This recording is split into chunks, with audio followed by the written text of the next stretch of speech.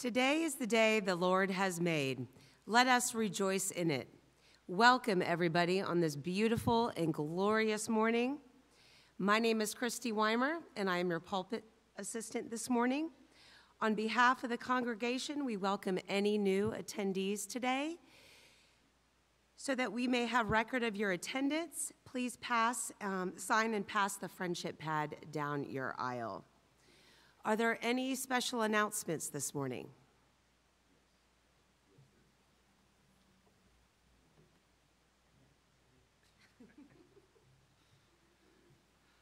Good morning. I wanted everybody to know this Wednesday at 6 p.m., we're going to have our first ever Blue Christmas. And Blue Christmas service, if you're not familiar with it, it's commonly called the longest night. And December 21st is literally the winter solstice and is the longest night of the year. This time of year is not so jolly uh, for some. And we want to acknowledge that, and we want to offer this sanctuary, this place of sacred worship, uh, to those folks that are having a hard time, difficult times. Uh, maybe this season you've lost a loved one in the year and you want to come and, and just reflect and, and be. Um, so I just encourage you, if you know anyone, or if you're that person, uh, please come Wednesday, this Wednesday, the 21st at 6 p.m. and uh, seek healing with all of us. Thank you.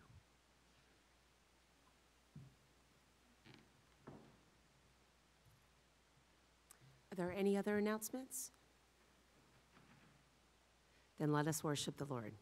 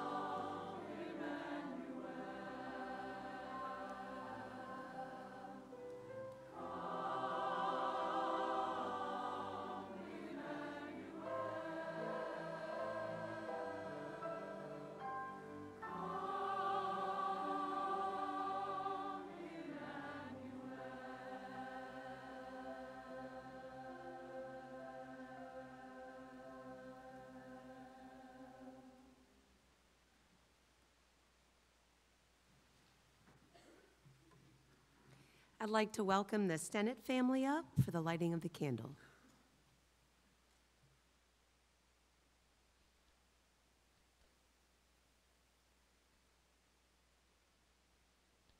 Good morning. Today we're going to celebrate the lighting of the candle. In the season of Advent, we light the candle for hope to symbolize that God, through Jesus Christ's birth, bringing gives hope to one another in ways of relating nation to nation.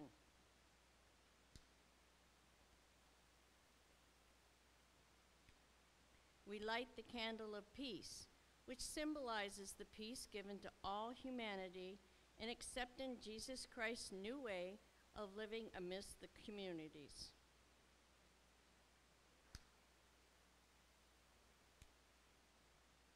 We light the candle of joy with the understanding that with all creation that is dry will burst forth in rejoicing and singing as Jesus the excuse me, the Christ is born.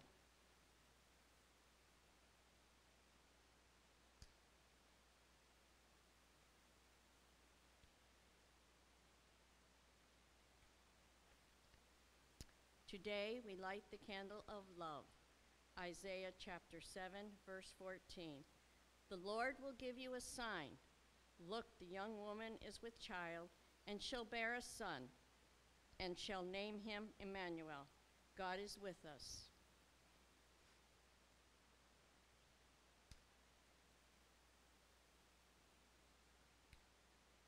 Let us all walk in hope, peace, joy, and the love of Christ.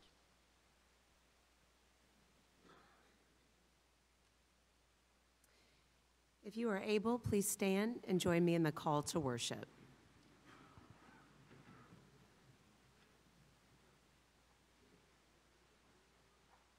Oh, sing to the Lord a new song. Sing to the Lord all the earth. Sing to the Lord, bless the Lord's name. Tell of the Lord's salvation from day to day. Declare God's glory among the nations, God's marvelous works among all the peoples.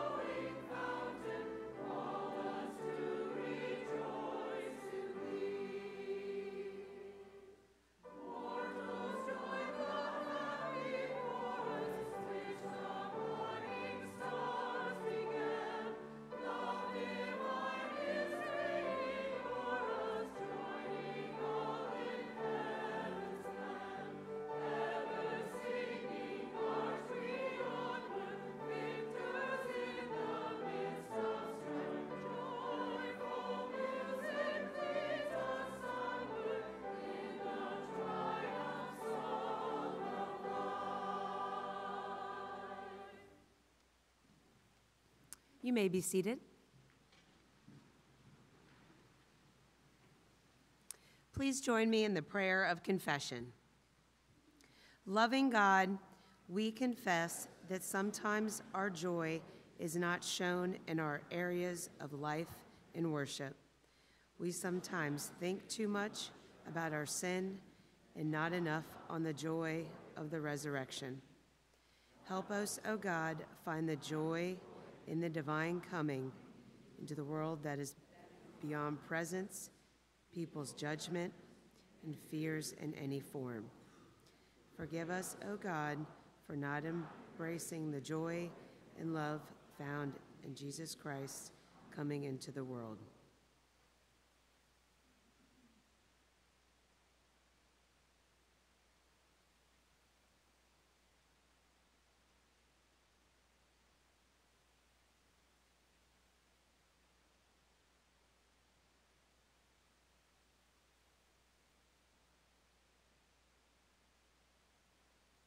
And all God's people said, Amen. The mercy of the Lord is from everlasting to everlasting. Declare God's promises in the name of Jesus Christ. We are forgiven. May the God of mercy, who forgives us all our sins, strengthen us in all goodness. And by the power of the Holy Spirit, keep you in eternal life. Amen. As we hear and see the water poured into the baptismal font, let us embrace our forgiveness in Jesus Christ, which brings joy.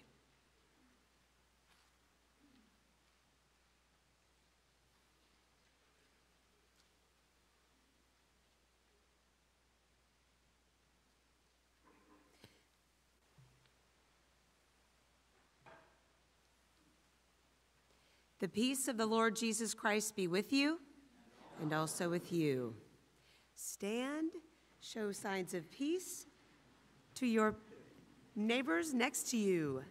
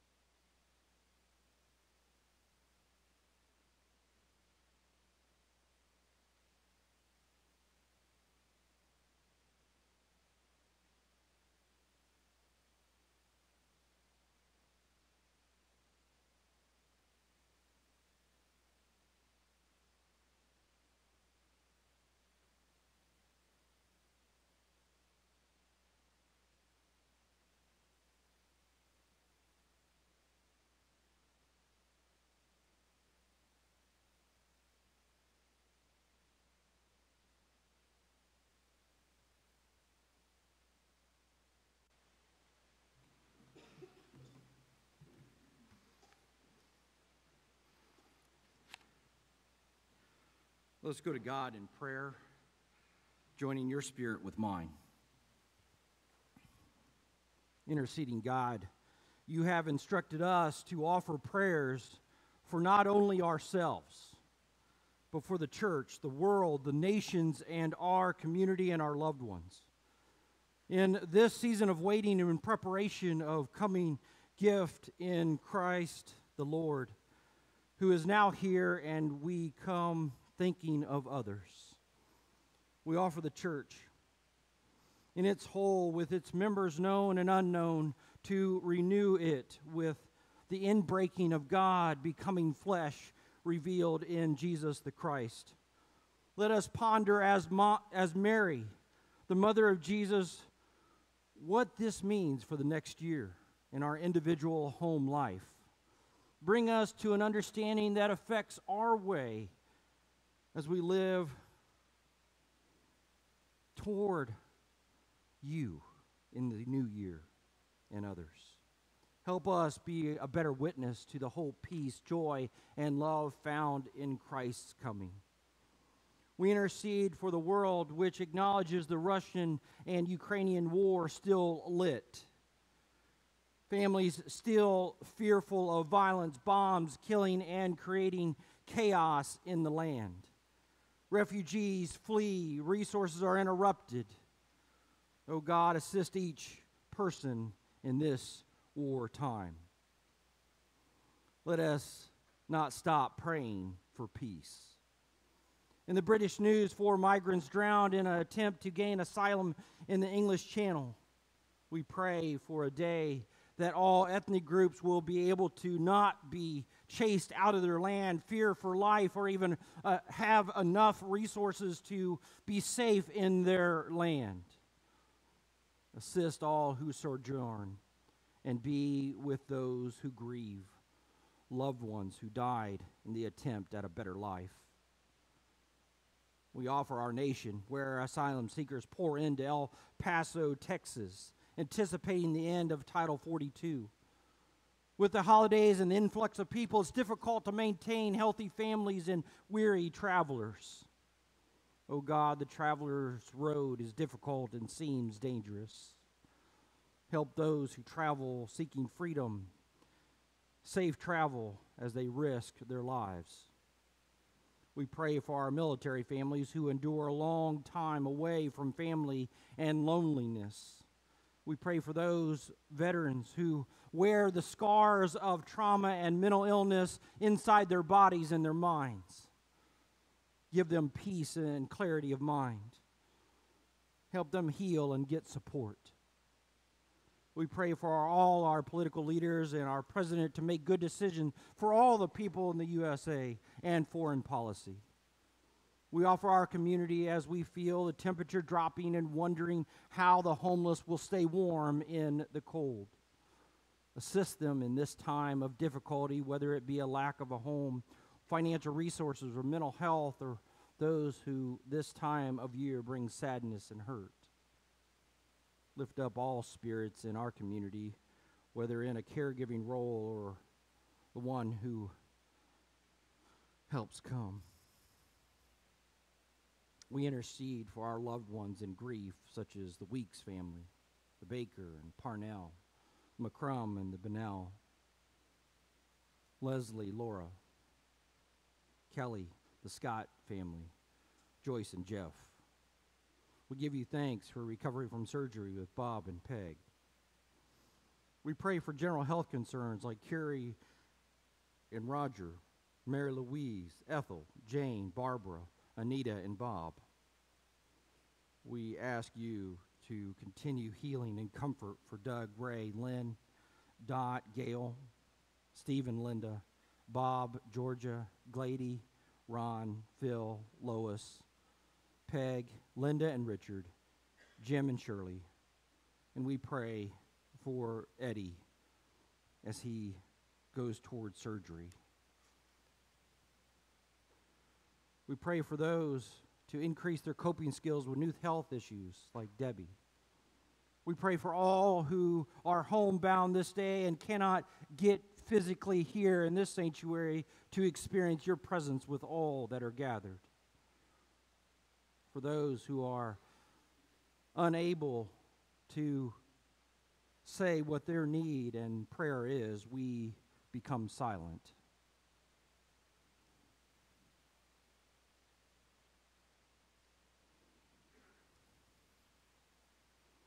Gracious God, strengthen us as we seek endurance in our intercession, faith for the journey, and love for all people. In Christ's name we pray. Amen. I would like to ask Mary Bunch to come to the pulpit and give a minute for mission from your stewardship team.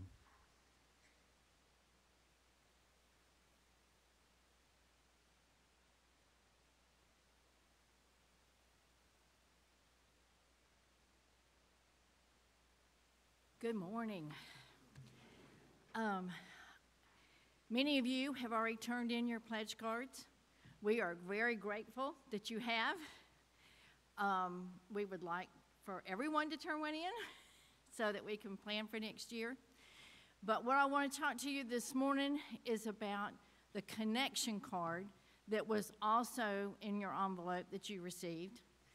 If you um, have already turned yours in, or if you did not get one for some reason, there are some in the pews. There's at least two in every pew, one on either end, behind your hymn book or someplace.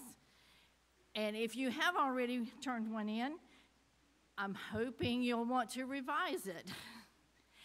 what I want to talk to you about is um, we, we have, this is what's formerly known as the time and talent sheet. We revised it so much that we had to rename it. So we're calling it the connection card. It's front and back. And you'll notice under every committee, there is a blank that says other. And that is very specifically what I want to talk to you about. We are hoping to get every single person in the church more involved. Whether you are 8 or 98, we want you to find a place to get involved and a, a, something that you can commit to on that connection card. So, under each committee, there's a line that says Other. A few weeks ago, all of the officers in the church, the current officers, the ones going off, and the ones um, that will be officers next year, we all got together for a visioning meeting one Sunday afternoon. And we just sat in committees and brainstormed about where we want our church to go. And I want you on that line that says other to write something that you would like to see our church, your church, involved in. Something new, something we're not doing, something we used to do, something that you would like to get involved with. And dream.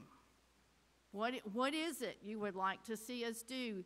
If not next year, then the, in the next three years or in the next five years? What would you like to see happen? So please, please, please, um,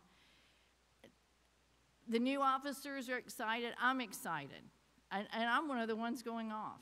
But I'm excited to see where our church is going. And I'm excited to hear from you. Thank you.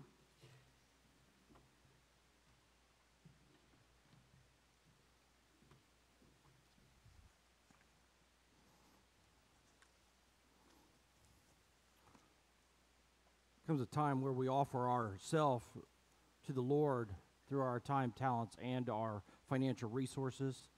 Let us go to God in prayer for the offertory. Please pray with me.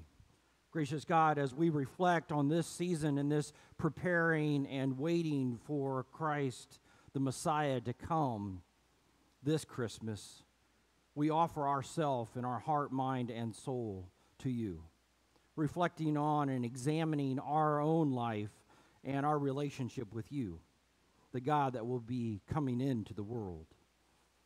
God, be with us in a special way as we reflect and examine our own existence and how we follow Jesus Christ. We thank you for the time and talents of all folks, Lord. God, open us to new opportunities, new ways of serving, and new ways of giving. In Jesus Christ I pray. Amen. Ushers, please come.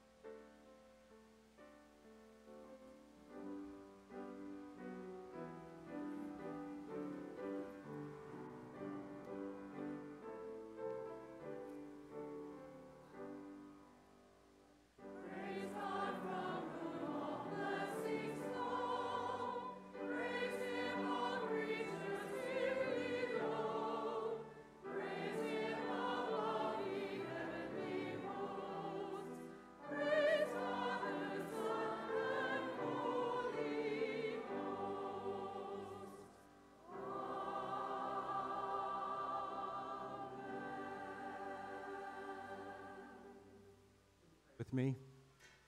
Gracious God, we give you thanks for Jesus Christ in breaking into the world and giving the world salvation for all who believe, O God. We thank you for the time and the talents and all the gifts that are given throughout the year and today.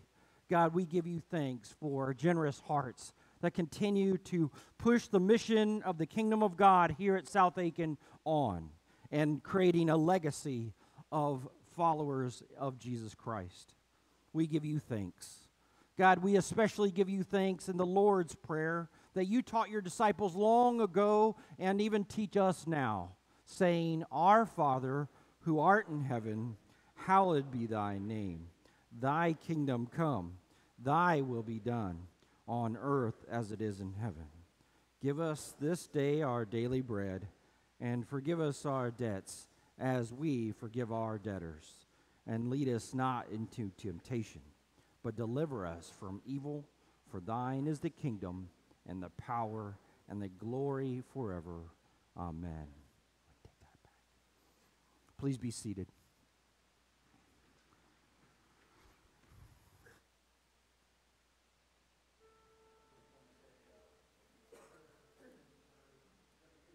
Scripture involved uh, in this cantata. So God will be speaking directly through this music and the words of all of the narration. So let us go to God in prayer. Great God, we pray that your word comes to fruition in our hearts and our minds. God, allow us to listen to your Holy Spirit that brings the message to us personally in our hearts and our minds and our spirits. God, lift our spirits to you. God, allow us to receive your message. In Jesus Christ I pray. Amen.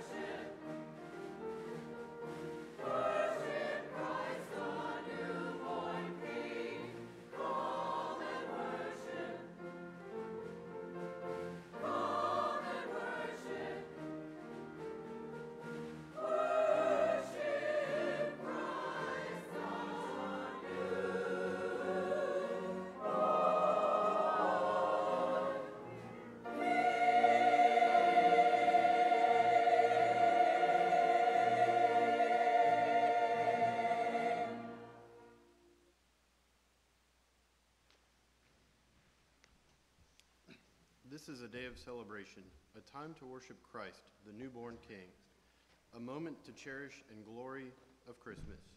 Emmanuel, God with us. This is an hour to recall and rejoice in the wonder and mystery of the incarnation story when God sent himself in the form of a baby, the Messiah, to become one of us, that we might become one with him. This is the hope of Christmas. Israel, the chosen people of God, were a people walking in darkness, living in a land of deep darkness. For generations, they toiled under the oppressive rule of Egypt, living in bondage and torture, longing to experience release from their captivity, yearning for a Savior who would come and deliver them from their pain and sorrow.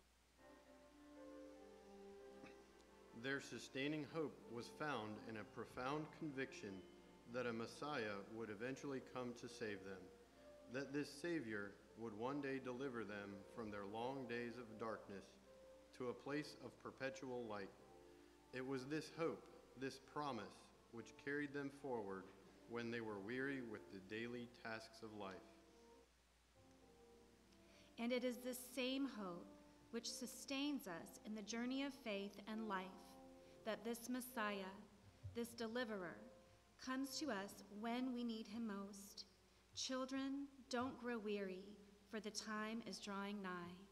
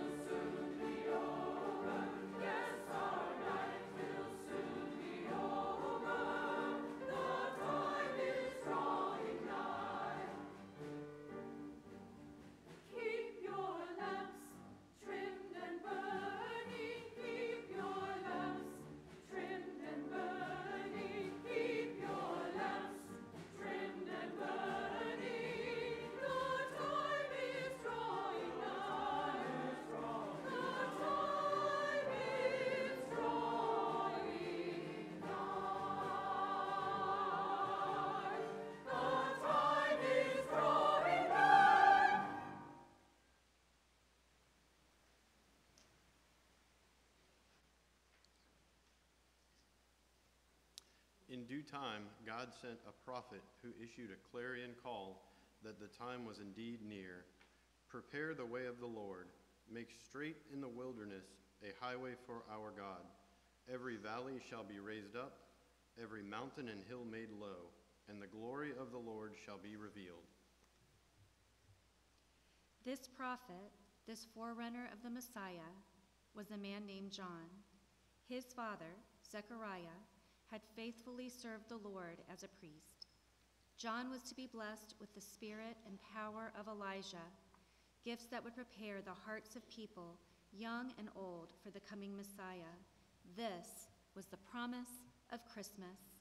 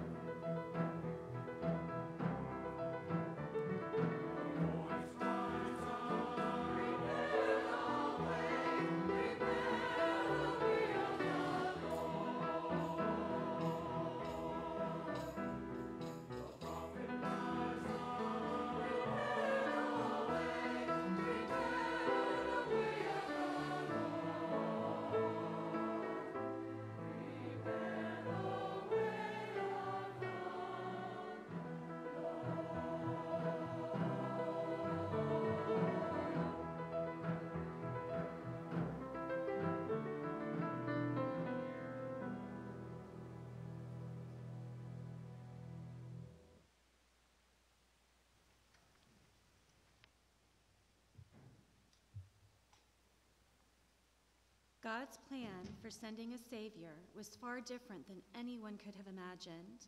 He chose a young woman by the name of Mary to give birth to this one he was sending to rescue and redeem his children. The angel Gabriel greeted Mary. Do not be afraid. You have found favor with God. You are to bear a child, a son, and you are to give him the name Jesus.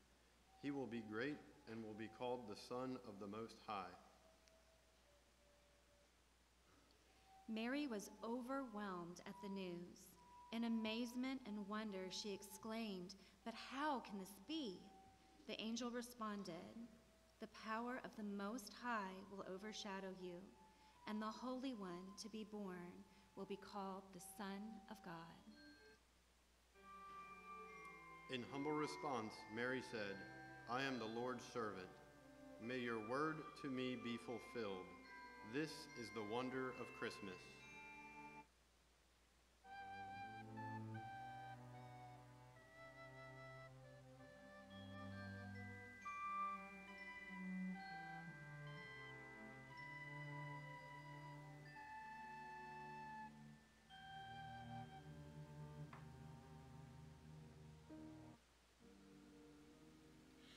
My soul rejoices in the Lord. I've seen his love and his power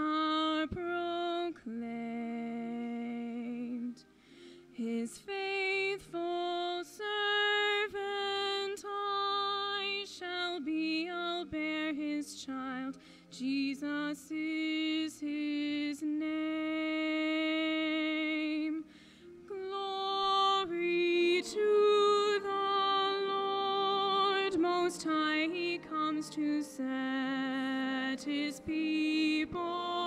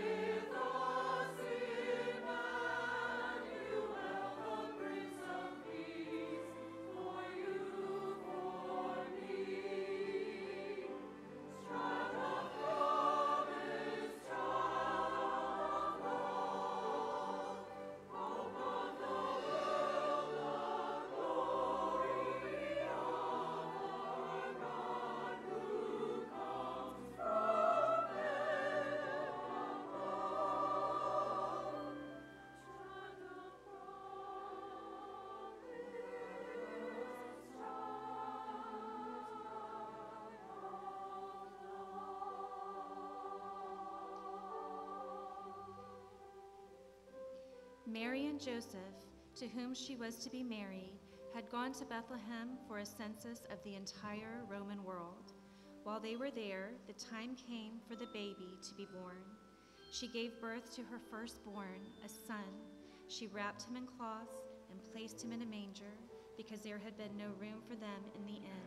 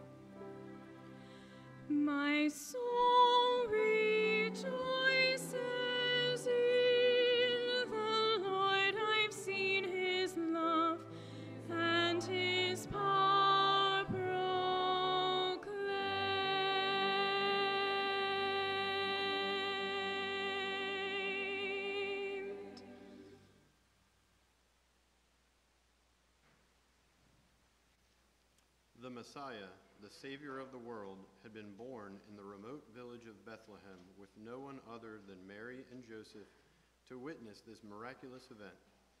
But God's plan included a means of making the fulfilled promise public. There were shepherds keeping watch over their flocks out in the fields nearby that night.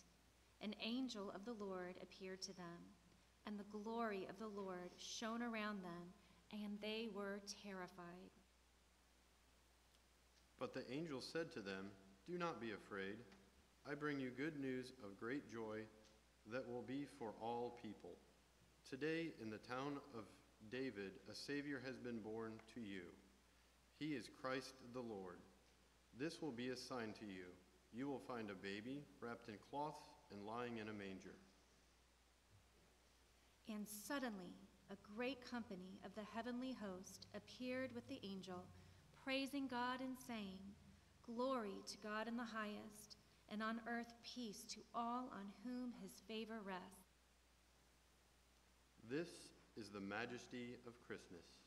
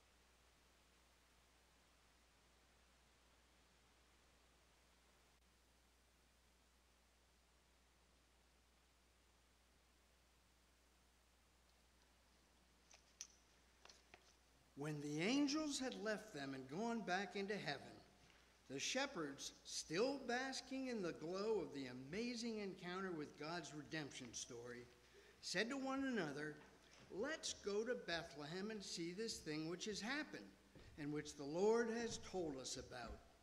So they hurried off and found Mary, Joseph, and the baby who was lying in the manger.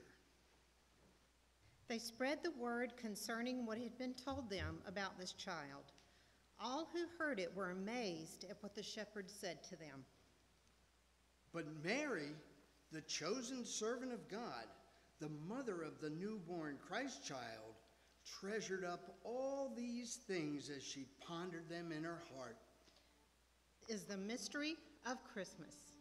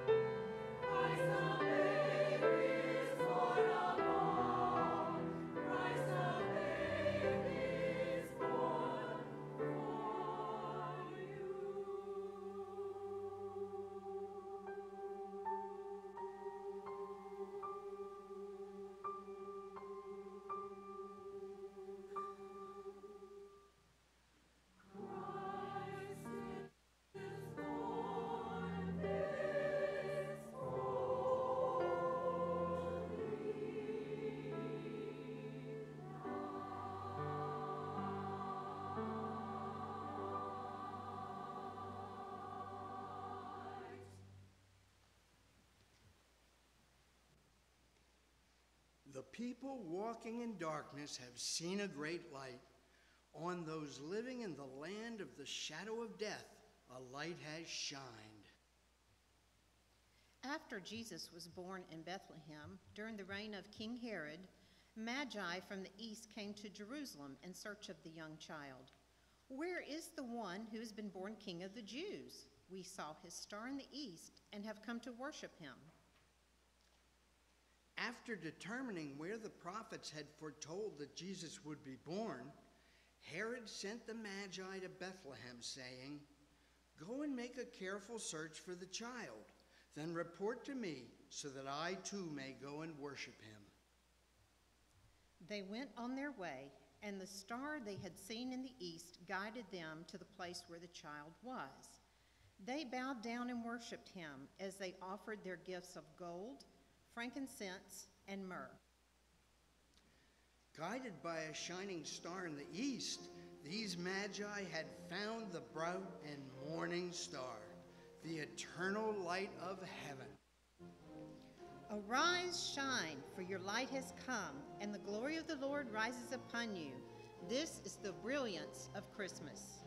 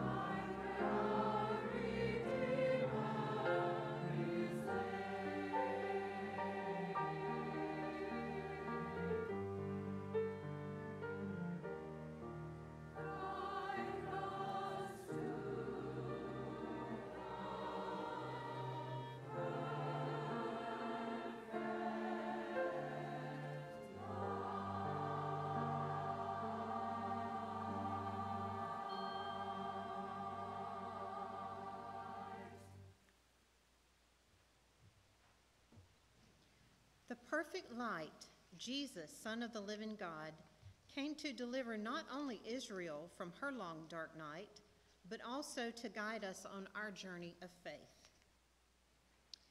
The sun will no longer be your light by day, nor will the brightness of the moon shine on you.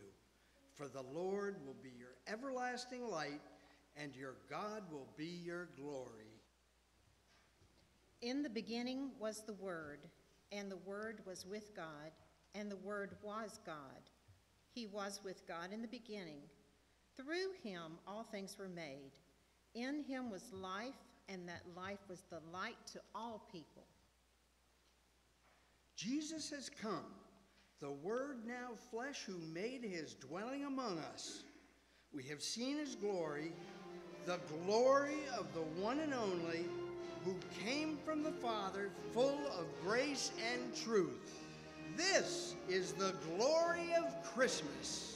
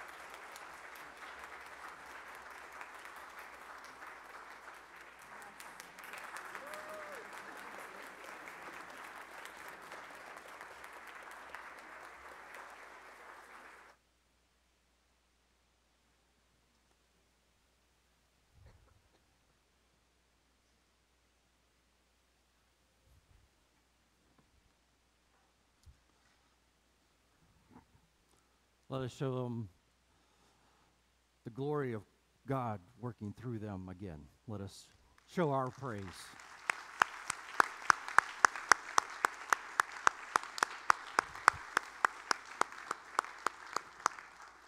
Now may the please rise for the benediction.